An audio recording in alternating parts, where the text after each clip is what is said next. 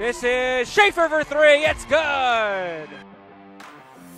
Trailer on the drive finds a wide open Ellison, and she puts it home for the layup. Senior from Clarksville, Tennessee converts. Here's Ellison, scores.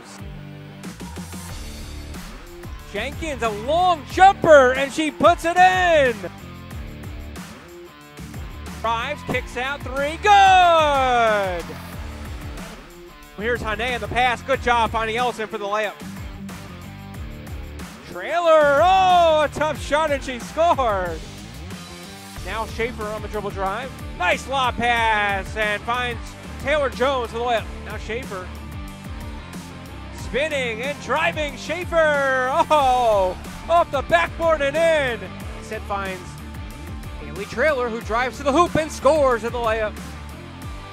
Here's a nice pass ahead to Long who puts it home. Now Long for a wide open trailer for three. Got it! Haley Trailer from downtown. A nice move by Jenkins. She will score. Down low. Here's Jones. Yup.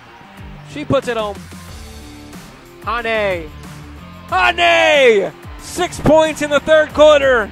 That's the first three pointer outside of Sheridan Green for a Nighthawk player. Elise Ellison again the layup. Now trailer driving. Count the basket for Haley Trailer. The Keiser University Seahawks with a victory 74 to 53 over Thomas.